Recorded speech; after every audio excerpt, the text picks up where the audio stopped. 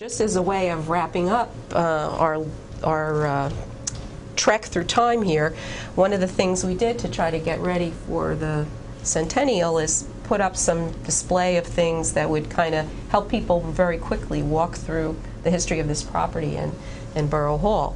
And um, we put together this little wall to do that. This um, shows the original survey, a copy of the original survey of the turnpike, and that's the first map that you see the triangular lot on. And that's Yeah. 1807. Okay. And then uh, these pieces of junk here are uh, things that were dug up on the property when they excavated for the firemen's. I think it's great stuff Yeah, have. yeah, and th- the oldest piece is this neck of a wine bottle, and uh, pottery and oyster shells.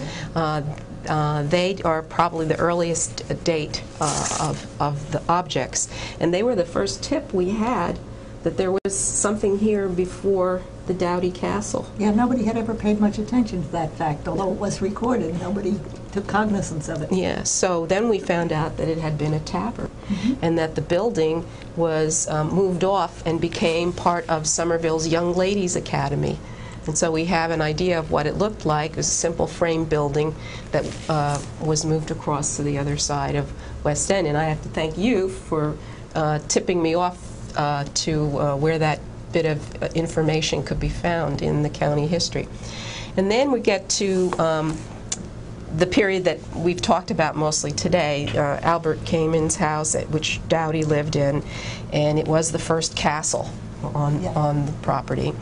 And then around the time, that was built in the 1830s and 40s, and it was the time that being a, having a castle as your home was very popular, and that's when the Bridgeport Mansion was first built. So this is the Bridgeport house that uh, Borough Hall's a copy of, and this house was purchased by the city of Bridgeport in the 50s and demolished to make a parking lot. Yeah, it was not considered, well, they did recognize it was important because they saved some of it Yes. for the Smithsonian Institution. Yes, they So- did, and there was a monograph on it, written on it, but they didn't try to preserve the building itself. And then, uh, lo and behold, here's the exact copy of it in, sitting in Borough Hall, and this is an original uh, print from a a glass plate negative, and we think this is how the property looked about 1899. You see the pillars out there and the wrought iron gate that we talked about, as well as the porch uh, coming uh, off the side.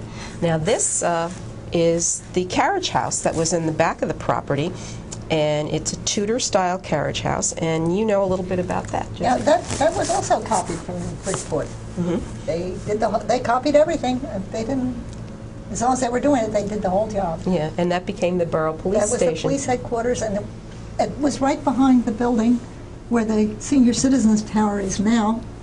And it's fortunate that it was there because the first fire, which was in 1967, was discovered because of policeman coming back from his tour of duty to the headquarters, happened to look at the building at the Borough Hall and notice smoke. And thereby an alarm was sent in, otherwise we might not have Borough Hall today.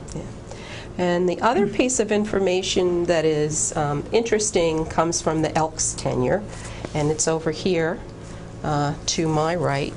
And you'll see first a picture of Borough Hall as it appeared during the Elks era in the uh, 1930s.